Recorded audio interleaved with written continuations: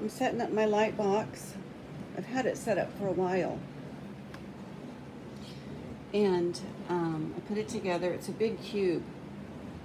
I think it's like a 36 inch square. It takes up a lot of space in my living room. And I couldn't find the light bar. So I but I had put some of these on Amazon right here. And you just, you have a sticky back on them. And you just tape them up. Can you guys see that? Oh, wait. Anyway, and I put them around. You can't see the top because, can you see it now? Yeah. So, this is a, these uh, white plastic sheets come with them. It also comes in different colors, but I can't locate them, and I couldn't locate the light bar that goes at the top. But I think it worked. Now there's a little bit of shadow, but not bad at all, right?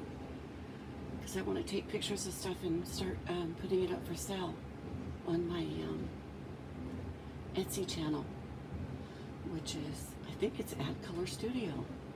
Because I told people back in July I was going to put up some shot glass trays, so I think I'm going to do it today. Man, I was so afraid that wasn't going to work, and I just put it off and put it off and put it off. Now I have that done.